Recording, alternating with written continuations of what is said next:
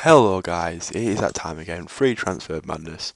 We're on episode 4 now, I have another two guys for you. Um, same one, you'll know one, you won't know the other one. Um, let's get straight into it guys.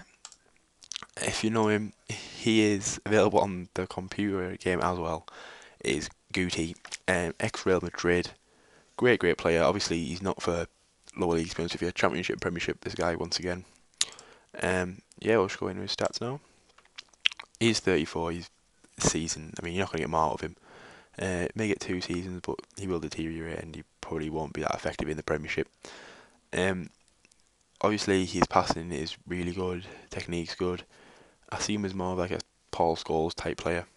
Put him central and try and use him in an anchorman type type role.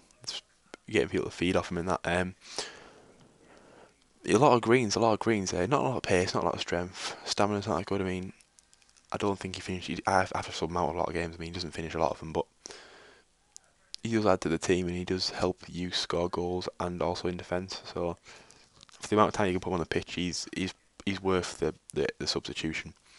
Um, I tend to play him in the centre. I don't really want to play him out of position. I think I played defensive mid a few times just to see if I can make him if I can get a bit more work out of him. But he does the job, and it's Guti. I mean, if you're ex Real Madrid and you're playing for any team, you're gonna be probably one of the best in the squad.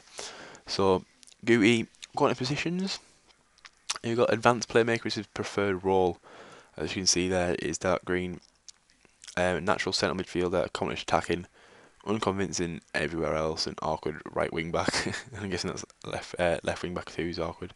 I don't know. He's unconvincing there. Uh, awkward must be up front. Up front, yeah, must be up front rather than the right.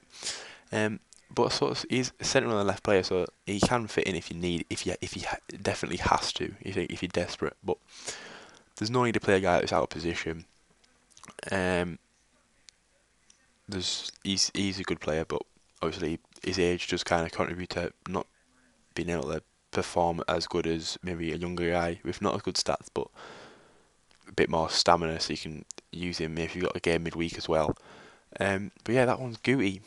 Um, before going next, I, I, am kind of going through these quite fast because I've been watching back a few of these and they are really long and it's really annoying to watch. So I'm just gonna. I've wrote down a list here of all the facts that I want to tell you about and just, just try and drop off straight away. Um, the next guy is a bit of fun, bit of fun. Um, League Two, League One, Betway Prem.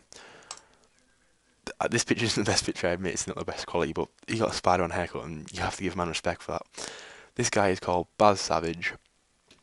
Um, I have signed him before, but it wasn't in the first season. It was uh, on the old game, and I think I paid out 10k for him. And uh, his stats is, his stats aren't that good. I mean, I admit they're not as good as some players I've shown you, but he is consistent at the level that I'm proposing you buy him for. Um, the championship, he's going to struggle. Um, but obviously, I think if you use him up to that point, I think he will be able to play because obviously your team will blend together and that will help him. But um, he's well well worth a look at if you're in if you're starting in the lower leagues because he's a very very good player. Um, I think at the moment he'd be released by Tranmere. I think I, I think he might be clubless at the moment, but he's a striker as you can see, 29 years old. There's a few seasons in him, um, but he is very very good for League Two, League One positions. He's a natural centre forward. You don't really want to play him anywhere else there. Target man, as you can see, I admit I use him as an advanced forward. Um, it's easier for me. I don't use target men a lot because I tend to focus on more shorter passing styles and just rather than Stoke, basically.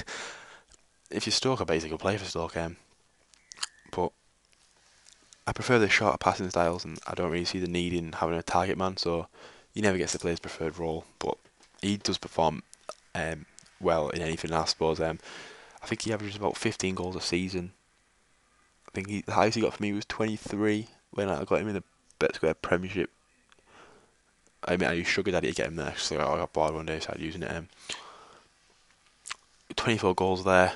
Um, it wasn't he was like one of the best signs I made as well, but um, 24 goals there. His wages aren't exactly cheap for that level. I mean, he does think highly of himself, but it will be well worth it. And I don't I don't think you regret buying him because he's he's a he's a natural goal scorer. Um, that one's Bas Savage and Guti. I realise this has been a really really rushed episode, but I really some of my mates have been watching these and they've been telling me that they are a bit long, so I'm trying to just like cut down. Uh, comment what you think. I mean, I will more than happy to go back over these guys if, like, in next episode.